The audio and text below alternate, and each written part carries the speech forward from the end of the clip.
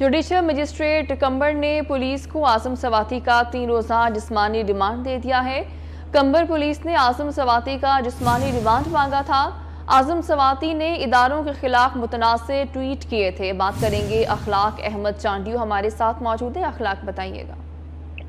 जी, बिल्कुल जो है सेनेटर आज़म सवाती को कंबर में जुडिशल मजिस्ट्रेट एंड सिविल जज के सामने पेश कर दिया गया है। तो senator Azam Swati judicial magistrate के सामने मौजूद है। और कंबर पुलिस ने आज़म सवादी का जिसमानी रिमांड के हवाले से दरखास्त दायर की थी जिस पर जुडिशल मजिस्ट्रेट ने कंबर पुलिस को जो है आज़म सवादी का तीन रोजा जिसमानी रिमांड जो है दे दिया जबकि अदालत के बाहर जो है सिक्योरिटी के सख्त इकदाम किए गए और जो है मीडिया के हवाले से अगर बात की उनको भी फ़ोटोज़ वगैरह देने से जो है इनकार कर दिया गया है। और आपको ये भी बता दें कि जो है यहाँ पर सेनेटर को इस वक्त भी कोर्ट के अंदर ही मौजूद है उसको जो है सीआई पुलिस के हवाले कर दिया जिन्होंने जो है आज इसको जो है यहाँ पर अदालत में पेश किया जिसको तीन ठीक है अखलाक बहुत शुक्रिया आपका। कंबर पुलिस ने आज़म सवाती का जिस्मानी रिमांड मांगा था।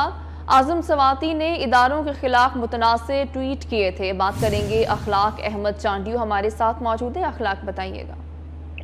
जी, बिल्कुल जो है सेनेटर आज़म सवाती को कंबर में जुडिशल मजिस्ट्रेट एंड सिविल जज के सामने पेश कर दिया गया है। तो senator Azam Swati judicial magistrate के सामने मौजूद है और कंबर पुलिस ने आज़म सवादी का जिसमानी रिमांड के हवाले से दरखास्त दायर की थी जिस पर जुडिशल मजिस्ट्रेट ने कंबर पुलिस को जो है आज़म सवादी का तीन रोजा जिसमानी रिमांड जो है दे दिया जबकि अदालत के बाहर जो है सिक्योरिटी के सख्त इकदाम किए गए और जो है मीडिया के हवाले से अगर बात की उनको भी फ़ोटोज़ वगैरह देने से जो है इनकार कर दिया गया है। और आपको ये भी बता दें कि जो है यहाँ पर सेनेटर जो है इस वक्त भी कोर्ट के अंदर ही मौजूद है उसको जो है सीआई पुलिस के हवाले कर दिया जिन्होंने जो है आज इसको जो है यहाँ पर अदालत में पेश किया जिसको तीन ठीक है अखलाक बहुत शुक्रिया आपका।